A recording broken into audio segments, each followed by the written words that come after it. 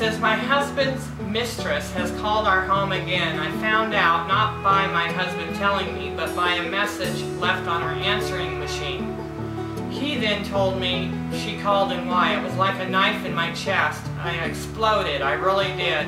He did apologize and he felt bad. He said it would never happen again. She wants to know um, if we have any suggestions for her.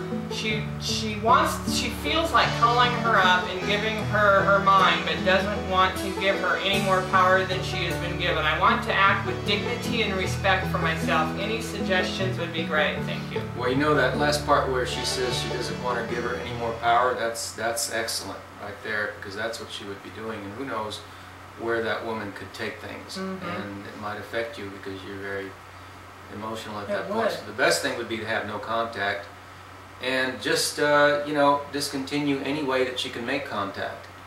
Uh, that might include having to disconnect your number and uh, get a new number that's unlisted.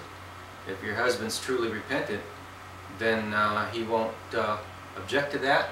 And uh, if she gets a hold of the number and it's unlisted, then you'll know that something's going on that's after right. he said he was repentant. So I would, uh, you know, just you. It looks like you, you're you're forgiving him. That's good. Uh, and now it looks like you're um, at the point where you're established. Need to establish some boundaries, and that would be clearly a, a very good boundary to be able to disconnect uh, the communication, so that this adulterous woman that's uh, destroying her marriage and someone else's marriage has no no way to make contact. He um, he needs to have some accountability to his wife. So uh, and that that will begin the healing process um, for the marriage for you for you for the woman that wrote in and for him. He needs to know by his accountability that it wasn't.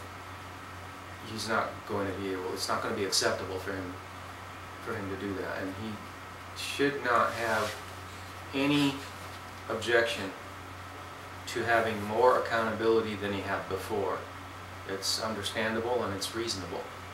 Okay, well, you did talk about accountability, and I think of good accountability, one time you had mentioned, we had talked about it in, in a previous marriage video, um, to uh, exchange cell phones once in a while. I think that's a really good idea.